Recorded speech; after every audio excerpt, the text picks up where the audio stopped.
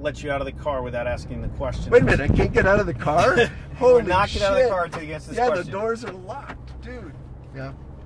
Did you write Dreams for My Father?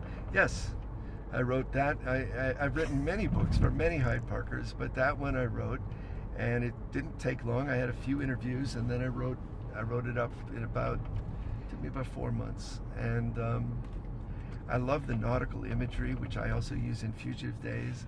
Now, if you guys could help me prove this, I'll split I'll split the royalties with you. Um, because I've You been don't have trying, any- you don't have a I haven't gotten transcript I haven't gotten a nickel from my effort. Do you have any notes that you could show? I, I have, I have, I destroyed the notes. Uh, that was part of the contract, but I haven't You been destroyed the contract? I destroyed the contract along with the notes. But if you guys could help dig this up, there's been a book written. I can't remember the guy's name, um, but he wrote a book comparing phrases from Dreams from My Father. Yes. Phrases, and, and so he's proven it kind of, but I still aren't get. I'm still not getting any royalty checks. But then I looked at Tucker Carlson. We had dinner together, and I looked at his. Um, That was with Breitbart too, right? yeah, Breitbart was there, and uh, I had I had dinner with them, and and I looked at Carlson's book.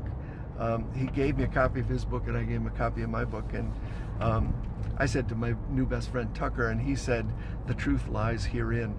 I, maybe he was being ironic too. I don't know, but. Um, but in any case, I looked at Tucker's book and I realized that I wrote his book too because he at one point says, "Don't trust liberals." I say the same thing. So I mean, maybe we're. I, I just am a ghostwriter par excellence. the mystery continues. Yeah, Yes. keep it going.